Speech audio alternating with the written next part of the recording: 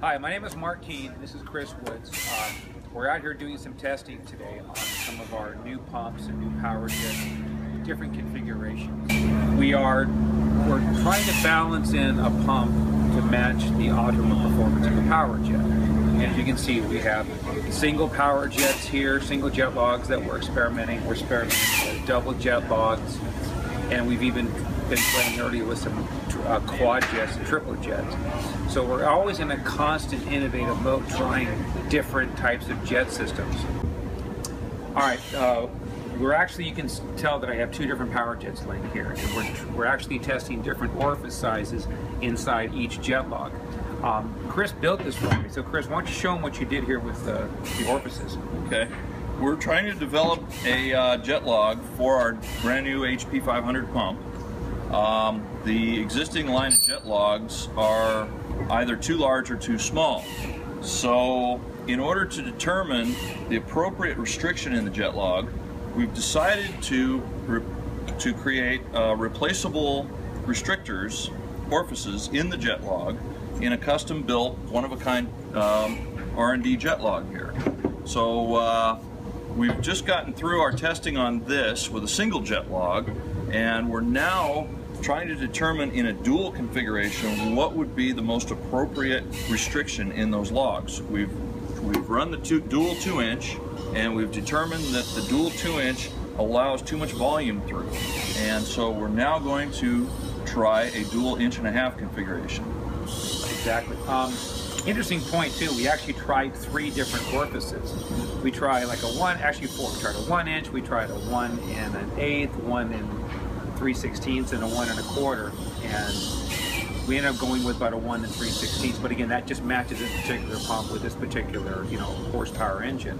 So it, there's a lot of fine tuning, a lot of playing. And, and even a, an eighth of an inch or a sixteenth of an inch can make a big difference in achieving that optimal performance on your, uh, your, your suction. This is always the fun part, testing. You get to put everything together.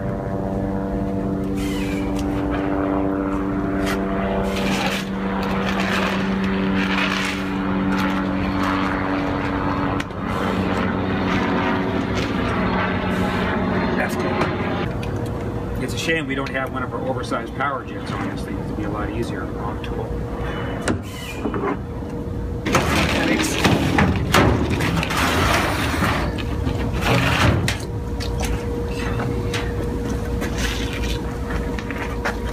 For our test, we're only putting about maybe 12 feet of hose on it, just to simulate a little bit of load. But it's enough to get an idea of the suction power. Okay.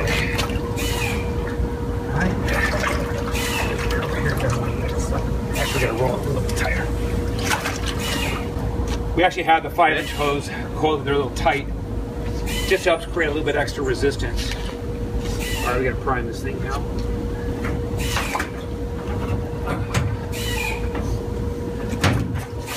Whenever you prime one of these pumps, you gotta remember that uh, normally you have a garden hose port here that you can loosen up. But here, since we don't have a garden hose port, we're just gonna crack this loose so we can so the air can get released when we prime it because inside your foot valve here you have a one-way check valve.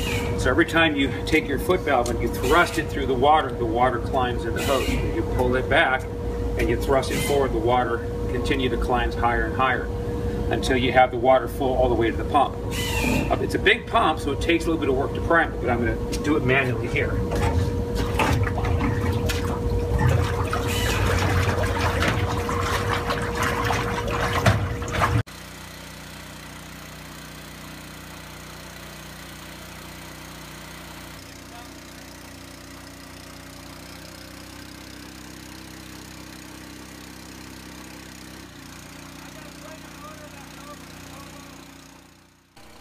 In this test, you can see we're running about 48 pounds pressure.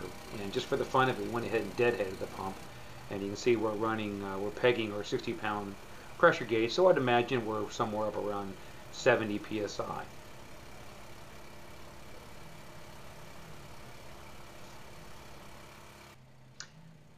Uh, this was a very interesting test. We basically put about a 13 foot piece of hose going straight up off the backside of the uh, 5 inch power jet. And we were able to achieve about 11 and a half foot lift, which kind of surprised me. I didn't think we'd get anywhere near that lift on the discharge. Now, that doesn't mean you can lift material that high. In fact, I doubt you could even lift heavy material even half that distance.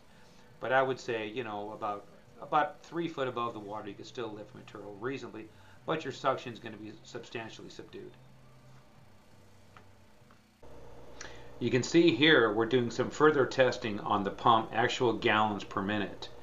Um, we actually use two different methods. We use a a meter that determines the exact gallons per minute, and we also use a, a ultrasonic meter as well to determine the flow through the water through the power jet and so on.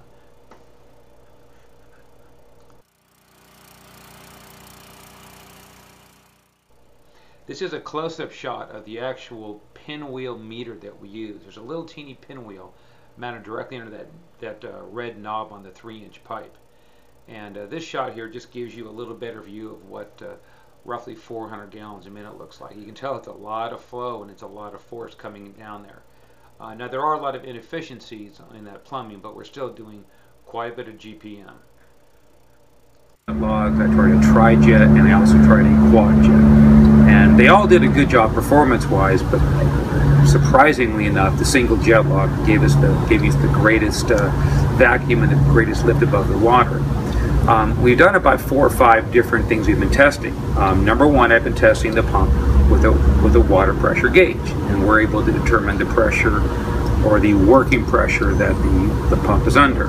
Um, number two, we do a midline vacuum test. So we actually put a, a vacuum hose right near the power jet and with an open, everything being open right through. And uh, then I also have a full deadhead vacuum where we just put a cap like this against on the end of the hose and that gives us a deadhead. We also ran another test with, with it. This gives you the same percentage of opening with probably about a 30% opening of water flow. So that's three different vacuum tests we did. And surprisingly, that again, the, the single jet log did the best job. We also are checking things like the uh, engine temperature, checking the exhaust temperature, the block temperature, because when you're doing a proper series of testing, you have to test everything. You don't want the engine to get too hot. Also, um, we've got some pretty good vacuum test equipment. So I was able to really monitor, we're able to actually record each test, and it gives us our highs and lows and average. So it's really handy to have uh, the nice, uh, the, the, proper equipment. And we've also done some testing here as well. You can see we have a, a piece of hose that's sitting at about 13 feet in the air. And surprisingly, we were actually able to shoot water right over the top with, with the proper power jet. All right, also when we're testing, we always run an RPM gauge on, on the, uh, the motor. Um, this allows us to make sure the engine come up to full speed and it will also have some governor left over for altitude. A lot of people when they build pumps they'll just take it, lower the engine up as heavy as they can and get the max performance out of it. The problem is if you get into any kind of an altitude, it kills the motor, overheats it, and you're going to shorten the life of your engine. So we're very conscious of building a, uh, a pump to match the uh, engine horsepower because if you put too big of a pump on an engine, you're going to overheat it, you're not going to come up to the proper engine RPM. So when we're doing that, that form of testing, what I'll do is we'll take the engine, make sure we get up to at least 3,600 RPMs. And then when, once everything's working under load, we have to be able to grab the governor and pull several hundred RPMs additionally out of the engine to make sure that we have some extra room for higher altitude operations.